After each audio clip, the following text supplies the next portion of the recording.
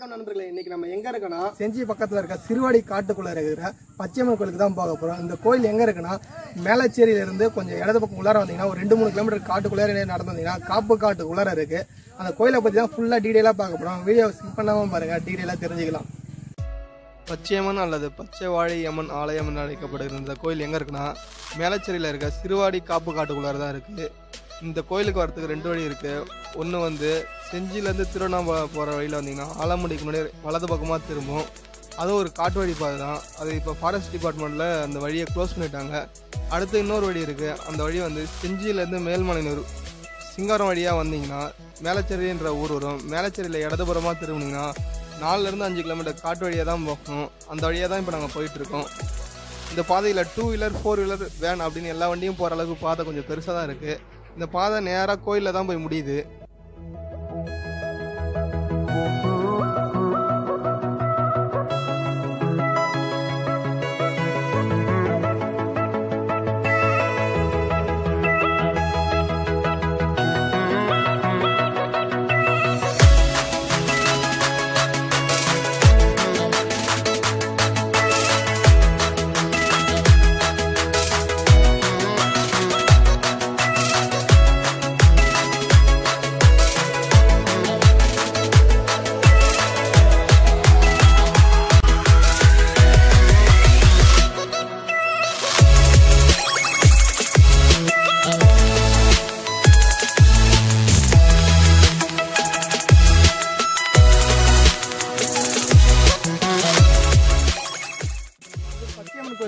கோயிலுக்கு தான் போயிட்டு இருக்கோம் போற வழியில காடு நிறைய இருக்கு.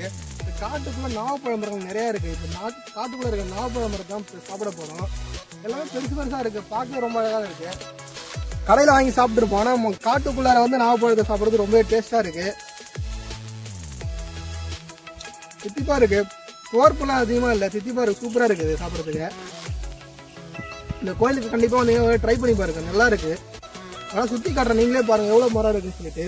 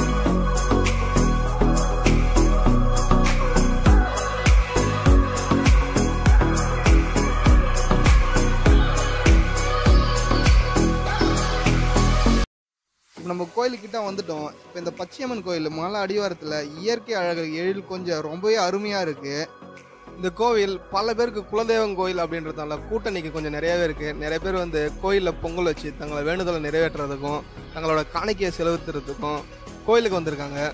அப்படியே அவங்க வீட்டில் வளர்த்த சேவல் கடை போன்றவற்றை சாமிக்கு பலி கொடுத்து இங்கேயே சமைச்சு குடும்பத்தோடு உட்காந்து சாப்பிட்றாங்க.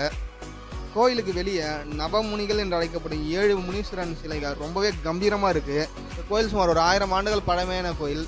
செஞ்சி ஆண்ட வீரபத்ரா அப்படின்ற மன்னன் வந்து இந்த கோயிலில் இருக்க அம்மனை வந்து வணக்கம் தான் சொல்கிறாங்க இந்த செஞ்சி மன்னன் வீரபத்ரனோட சிலையும் கோயிலுக்கு வெளியே இன்னும் கம்பீரமாக இருக்குது வாங்க கோயிலுக்குள்ள போய் பார்க்கலாம்.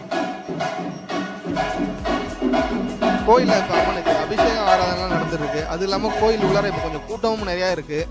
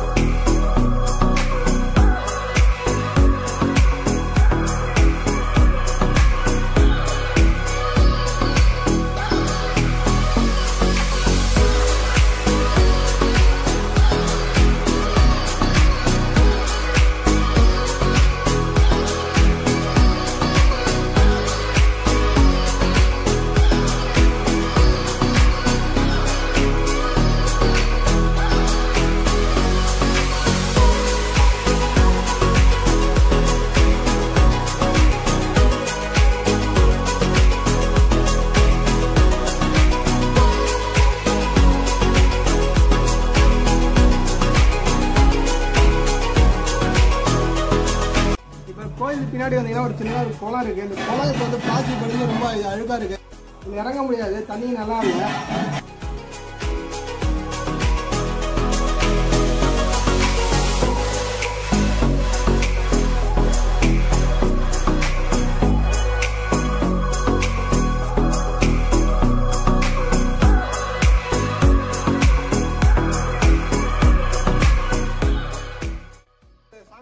பண்ணோம். இப்போ வந்து பூஜை நடந்துட்டு அபிஷேகம் நடந்தது அபிஷேகம் பார்த்து ரொம்ப மன திருப்தியாக இருந்தது கோயில் பார்க்கறதுக்கு.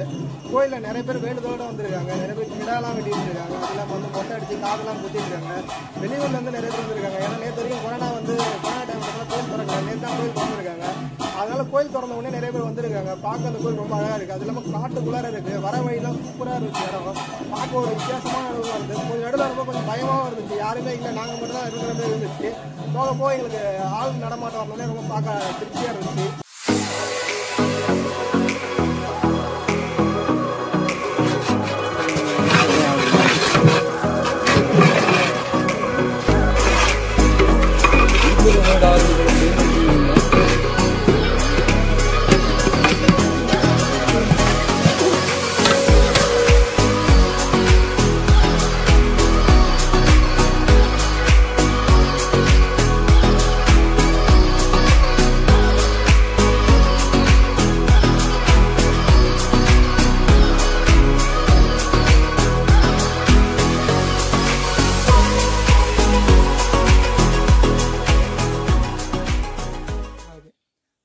காளியம்மன் கோயிலை பார்த்ததுக்கு அப்புறம் பின்பக்கம் கோயிலுக்கு பின்பக்கம் ஒரு காட்டுக்குள்ளார காயலி காளியம்மன் கோயில் இருக்கு. இப்போ அந்த காளியம்மன் கோயிலுக்கு தான் போக போறோம். அது போற வழி ஒத்தடி பாதை தான். கிட்ட தான் இருக்கு. ரொம்ப தூரம்லாம் இல்லை. இப்போ அங்கே தான் போக போறோம். வாங்க போய் பார்க்கலாம் அதையும்.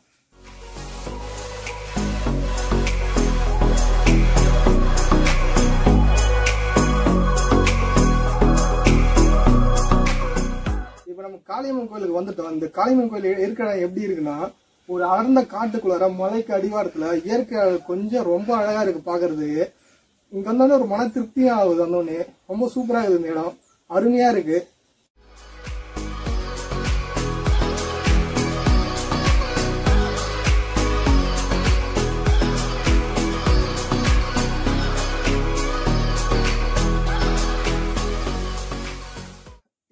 பார்த்தாலே தெரியும் ஒரு ஓடை ஒன்று வருது. இந்த ஓடை வந்து மாநில பெரு தண்ணிலாம் வந்து போகிறது ஒரு மலை ஓடை இது.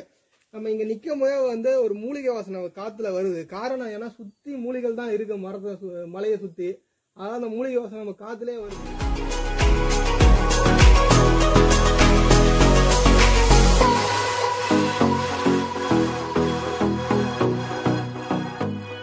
நிற்கிற நான் இடம் எங்கன்னா இந்த மலையிலேருந்து மழை பெய்கிற தண்ணிலாம் ஓ- ஓடுற ஒரு ஓடை தான் மலை ஓடை தான் இது. இந்த மலை ஓடை வந்து ஒரு இடத்துல போய் நிற்கிது அந்த இடத்துல வந்து ஒரு செக் டேம் மாதிரி கட்டியிருக்காங்க. அந்த செக் டேம் ஏன் கட்டியிருக்காங்கன்னா அந்த தண்ணியை தடுத்து குளத்துக்கு திருப்பி விட்டுருக்காங்க. ரொம்ப நல்லா இருக்குது ஒரு மலை உள்ளார இந்த இது மாதிரி இடத்த நான் பார்த்ததே இல்லை. செஞ்சியில் அதுவும் ரொம்ப அழகாக இருக்குது இந்த இடம். உங்கள் இடத்துக்கு காட்டுறேன். வாங்க பார்க்கலாம்.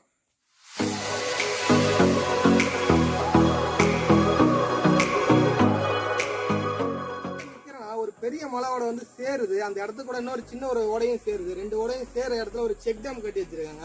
அந்த செக் டேம் ஏன் கட்டி வச்சிருக்காங்கன்னா தண்ணியை திசை இருக்கு இங்க பக்கத்துல ஒரு குளம் இருக்கு. அந்த குளத்தை நிரப்புறதுக்காக கட்டி வச்சிருக்காங்க. இந்த குளப்பந்த குளத்தை நிரப்புற உடனே தண்ணி ஆட்டோமேட்டிக்கா அந்த செக் டேமை தாண்டி போற ஒரு சிஸ்டம் இருக்கு.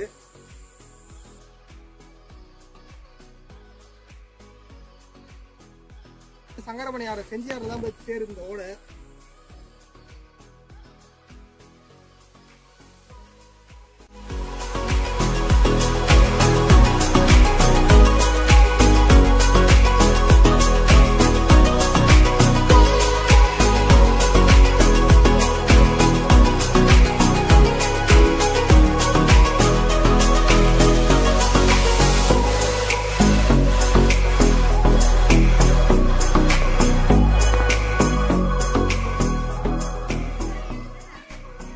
உங்களுக்கு நேரம் கிடைச்சா ஒரு முறை கண்டிப்பா இந்த இடத்துக்கு வந்து பாருங்க.